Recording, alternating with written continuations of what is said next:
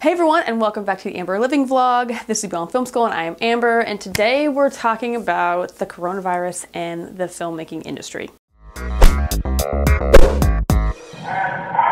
Oh my goodness, you haven't seen me in 11 months. I haven't uploaded a video in 11 months. But that is largely due to me working full time on set and another venture I have going on called Run with Amber has zero to do with film, but uh, I'm a firm believer in doing things that you enjoy uh, and traveling, running, and writing are three of those things I really love doing and all three of those things are combined on runwithamber.com. So if you want to check out what else I'm up to, that is what I'm up to and that's what I've been spending a lot of my time on. Let's jump into the craziness that is coronavirus COVID-19. I'm going to talk about how this whole situation, coronavirus, has affected me. My show was shut down. I worked on an NBC show. Uh, we had three episodes to go before we were done wrapping our season, and we everything was changing so rapidly like from day to day hour to hour. Um, we went from you know not visiting a certain location anymore because we shot largely in a hospital because we were a hospital show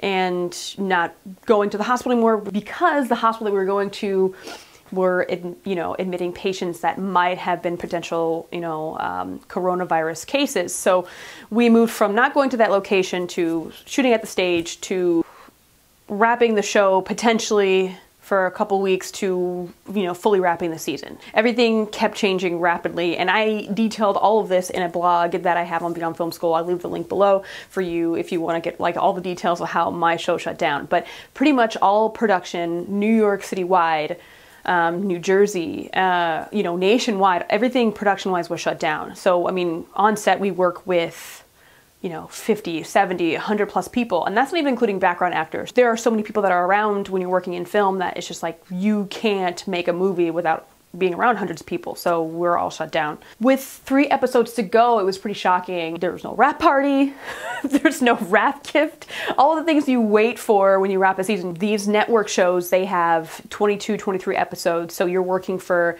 nine to 10 months straight. Well, with the hiatus in December, but it was just kind of like, we all, you know, our last day was pretty much, all right, we're wrapping out, bye. The plus side is that no one else is working. So there's no weird competition of like, hey, can you get me on this job? Which it was kind of like that because a lot of people were leaving for certain pilots on my show. And I was like, if we shut down our show and your show doesn't shut down, can you bring me to your show? Well, everything shut down. So there there is no pilot season basically. There's no Netflix show shooting somewhere.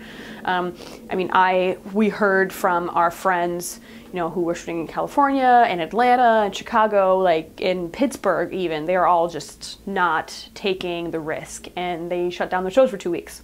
Um, now that two weeks has passed, at, by this time of the recording of this video, and I don't think they're they're not going to start shooting until all this is just gone. When we get over the hump, that's when production will come back, hopefully. As far as payment, since New York City shows were shut down, we're all gonna wonder like how the hell we're gonna make a living if everything's shut down.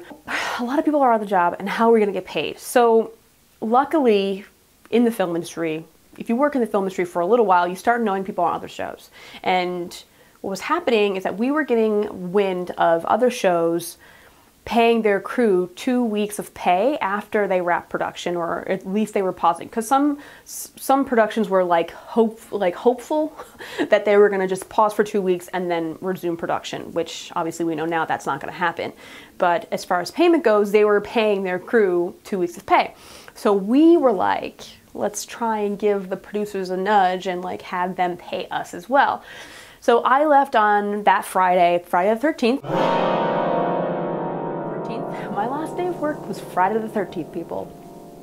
On my last day, I left knowing that I wasn't going to have a job, wasn't going to get a job on any show, um, and I was fully prepared to apply for unemployment. By the weekend, I got an, a lovely email saying that we would get two weeks of pay, thankfully. So that actually is like a saving grace. At the date of this video, I got another email saying that not only were they going to do the two weeks, because now we've reached the two week mark, is that they're going to extend it another week, which is really, really great. What does this mean? Where do we go from here? This is kind of, uh, it's unprecedented, obviously. We've never had this type of thing happen.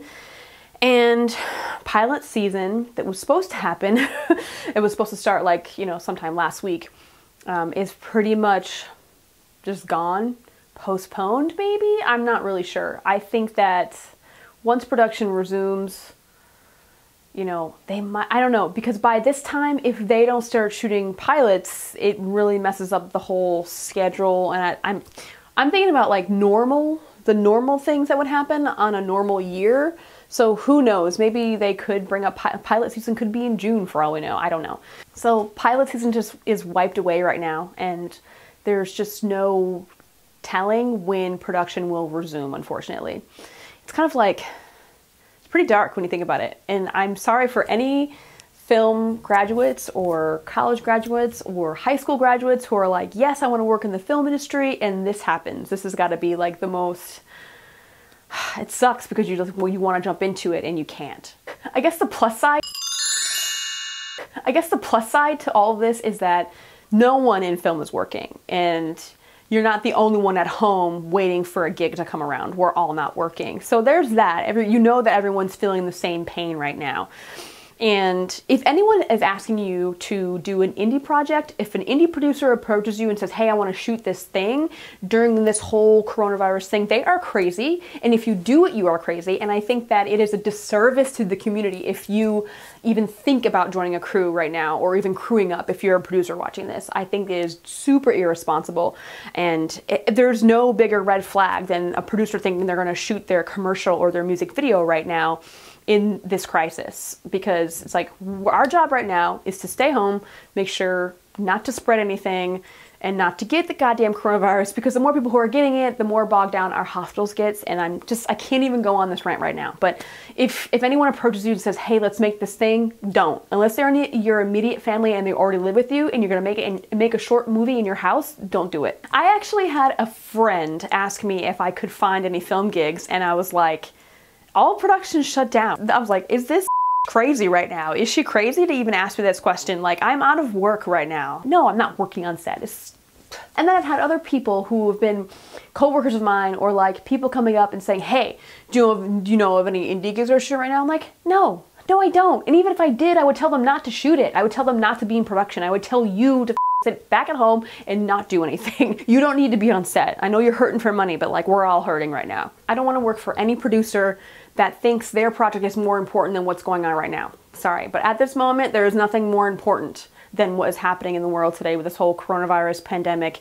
There's nothing more important right now besides stopping the goddamn spread so we can get on with our lives finally. You may be asking, what can I do? What should I be doing? What can I be doing? I feel like this is a blessing. For me, this is a blessing in disguise because I had no time to work on any other projects that I wanted to work on.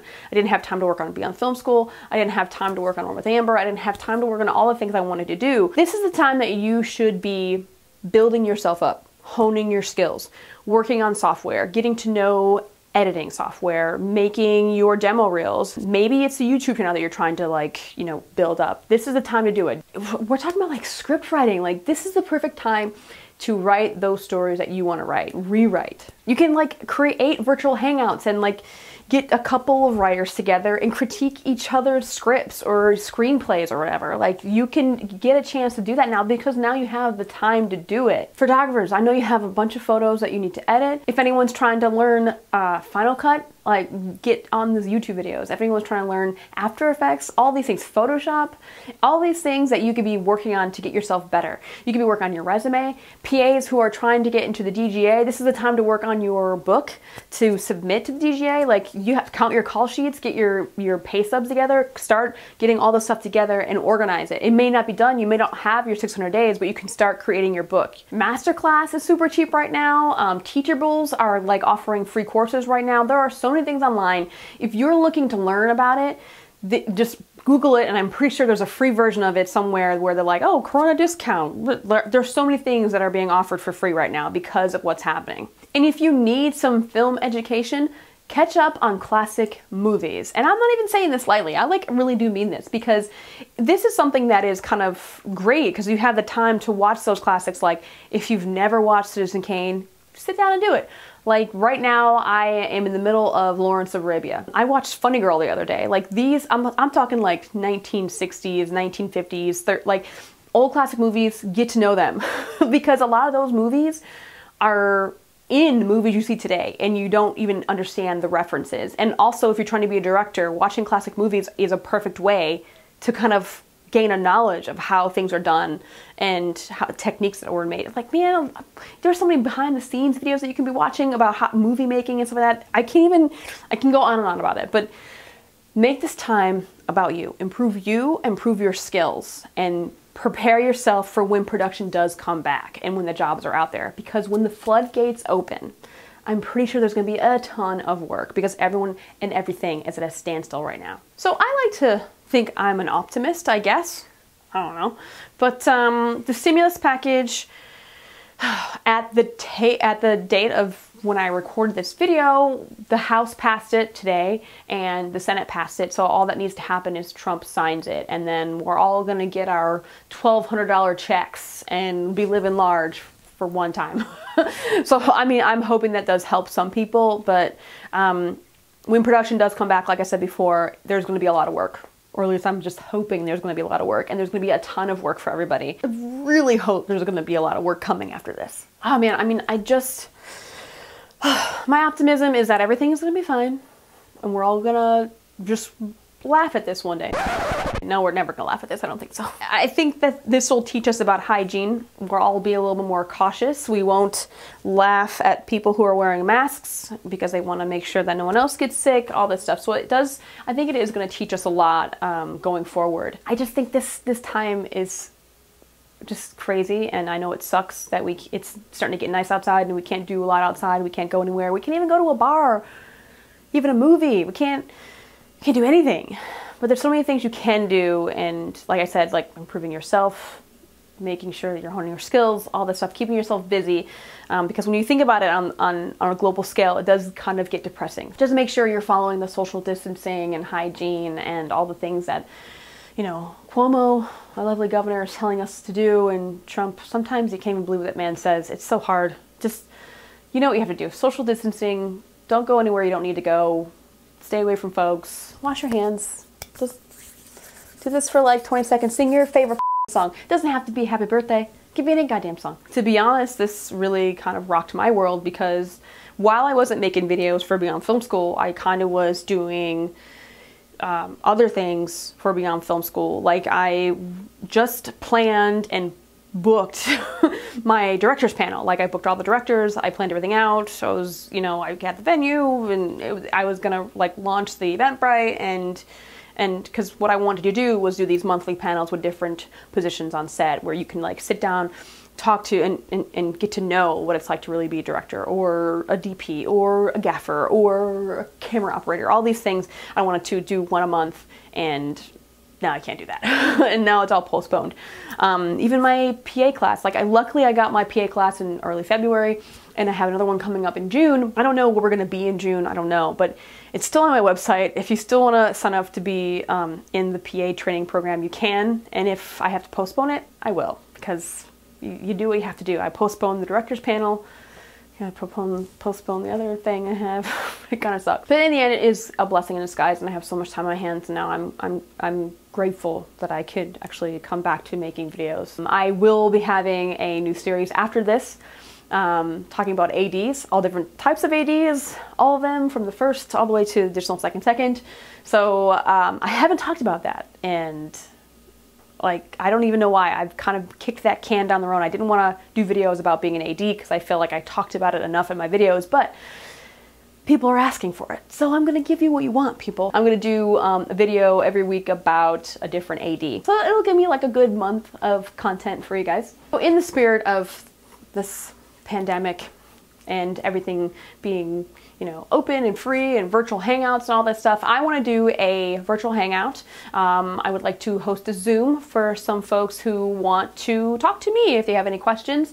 You know what's it like being a pa what's it like being an ad what do you do as an ad what is it like on set?